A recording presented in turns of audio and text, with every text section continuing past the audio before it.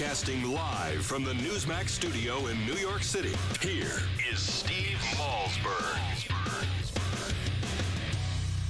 It's like the Supreme Court. Sotomayor, the, the uh, Chief Justice Sotom- Sotomayor, uh, one of the Supreme Court justices, she told him just knock it in. That's right. Sitting up there pretending that now racism don't exist. And, and there's um, Clarence Thomas. Oh, y'all, brother. Oh, brother. Uh, uh, you said that, I didn't. Yeah. All right, uh, welcome back to the Steve Malzberg Show. Kind of sad when the, the host of the new Nation of Islam radio show is the one saying to his to the congressman, "You said it, I didn't." Um, uh, but Congressman Bennie Thompson of uh, Mississippi, Democrat, of course, uh, called uh, uh, Clarence Thomas and Uncle Tom. Joining us now to talk about that and oh so much more is the one and only David Horowitz, founder and president of the David Horowitz Foundation, David Horowitz Freedom Center, I should say and uh, editor of Front Page Magazine, and of course the author of the Black Book of the American Left. And David, is uh, is that not disgusting? Well, look, it's been going on now for 30, 40 years. Um, the effort by Democrats to uh, declare any uh, dissent from their party line uh, as indecent, as racist, as sexist, as Islamophobic. It's, it's an attempt to suppress the speech of those who oppose them. Uh, my um, front page magazine, uh, which is my kind of flagship publication, uh, the motto of it is uh, inside every liberal is a totalitarian screaming to get out. and the and uh, this is obviously a totalitarian move. Clarence Thomas has got to be delegitimized because he's a conservative, and of course, blacks and uh, uh, decent people can't be conservative. That that's the Democratic Party line. It's a totalitarian line, um, and their efforts to stamp out the opposition are, are quite clear. With uh, Obama uh, being the force behind the IRS uh, efforts the taxing power of the government to shut down um, their opponents. This is a frightening moment in American history. I, I uh, you know, I hope people are aware of that. The, this uh, series of books I've written called The Black Book of the American Left, there are two volumes out now, um, is a, a portrait of what are falsely called liberals and progressives. These people are not liberal and they're not progressive. They're radicals and they're what I call neo communists. And that's because the new left, which was a neo communist left, there was never a new left. Uh, marched into the Democratic Party 30, 40 years ago with the McGovern campaign and has taken over the party. And but Barack Obama is one of them. Um, the President of the United States is an anti American radical who wants to fundamentally transform the United States, in his own words, who has taken us down. I mean, it's an embarrassment. Uh, America was once a great power, now it's a laughing stock internationally. Uh, where we, we can't stand up to any dictator, any thug, any aggressor uh, and where we are embracing uh, Nazis in the Middle East. The, the, Muslim Brotherhood, which Obama has embraced, is a Nazi organization, and so is the, the Palestinian leadership. Well, that's only because, of course, David, the Israelis are going to become an apartheid state, don't you know?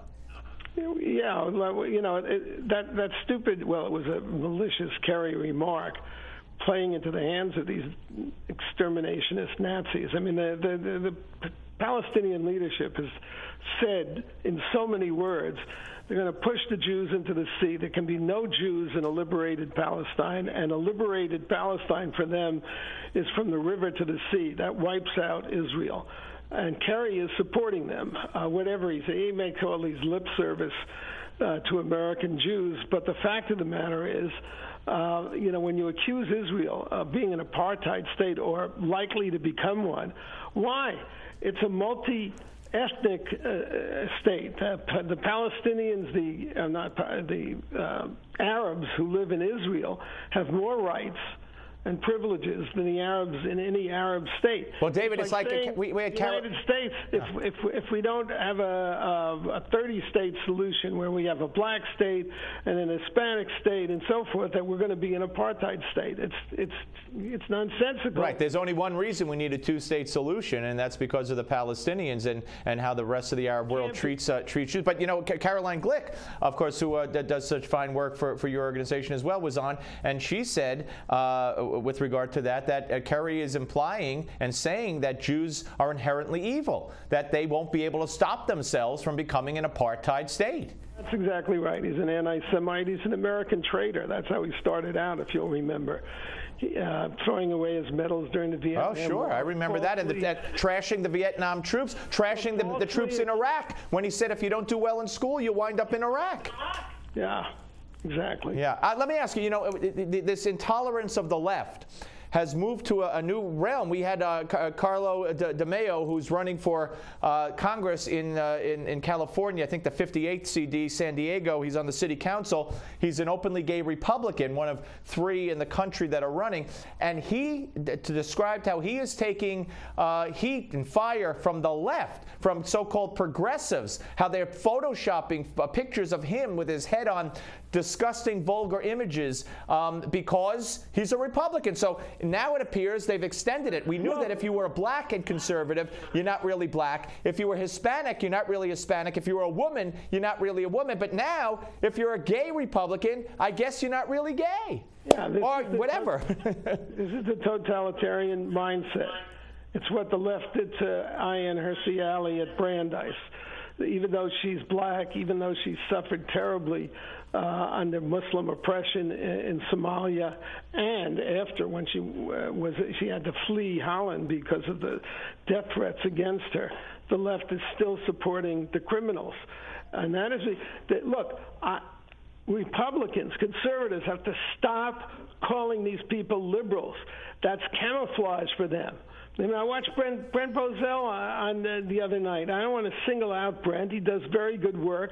But when you call these people liberals, you're serving their evil ends.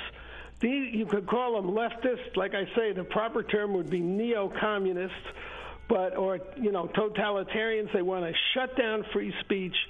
They, no, they, they, they want to have this commission on the internet to decide what's acceptable speech and what isn't. There's nothing more anti-American than that, and yet conservatives and Republicans call such people liberals, who, people who want to destroy the Constitution, and every day show they do by their behavior.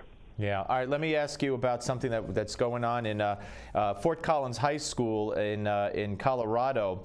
Uh, the principal there is defending his decision to let uh, students from a cultural club to recite the Pledge of Allegiance in Arabic. So if they're saying under God.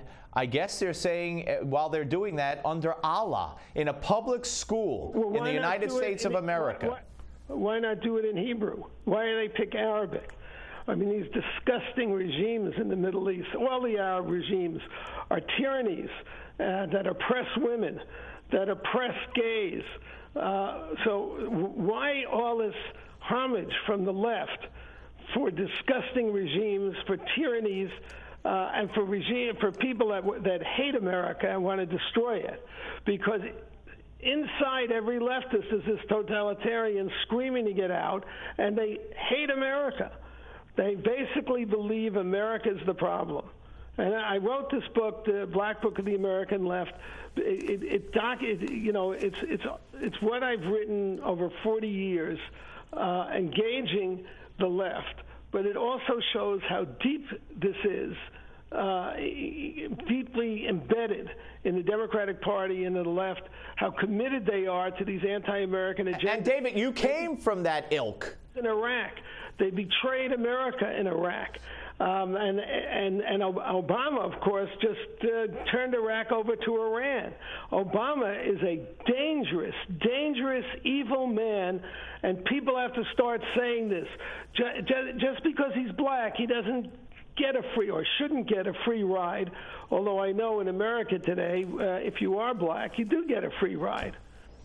All right. Well, uh, uh, uh, how do you feel about Donald Sterling and the Clippers, real quick? We got less than a minute. Well, that, that's a perfect example of how racism has been stamped out in America. Of course, there are racists like Sterling, but uh, if you have a white racist, he's toast. He's over.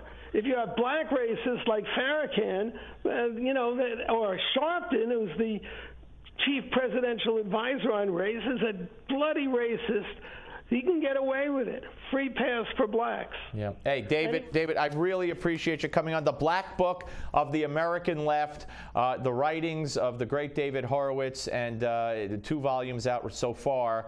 Uh, you do well to get, get the head start, get the volumes one and two, and read them.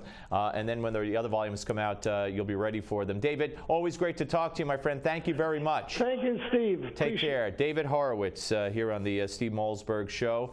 Uh, you know what's next. If you look at the clock on the wall, the clock on the wall says 3 o'clock. Little George Thorogood for you. Uh, it's uh, Give Me Five is coming up next, right here on the Steve Malzberg Show.